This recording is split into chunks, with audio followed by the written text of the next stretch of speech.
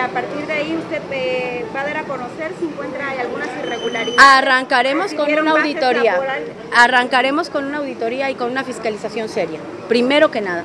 O sea, para, para recibir cualquier cargo público, lo, único, lo primero que uno tiene que hacer es dar cuentas de qué recibe uno, cómo lo recibe, cuándo lo recibe y en qué tiempo y forma están entregando las cosas.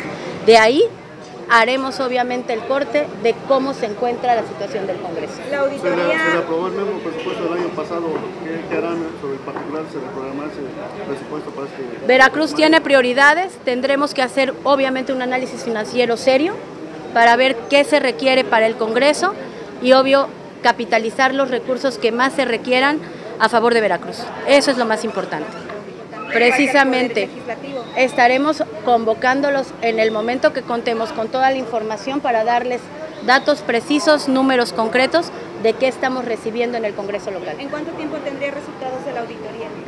dependiendo cómo se encuentre, dependiendo el orden de lo que me entreguen, dependiendo que existan los documentos, que existan los archivos electrónicos, porque bien decían, en materia de entrega-recepción, el Estado y el gobierno nos queda mucho a deber.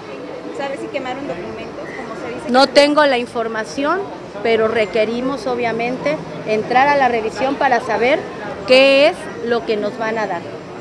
Dependerá del Estado, dependerá de los tipos de, de documentación y dependerá también de esta disposición a que todo se encuentre en el lugar, porque ustedes saben bien que cuando entra uno a un cargo, recibe las computadoras vacías, los archivos vacíos y obviamente los documentos en algunos casos ya ni siquiera se encuentran. Entonces, por eso es que hablo que esto puede llevarse el tiempo que obviamente implique, depende de lo que, de, lo que realmente entreguen.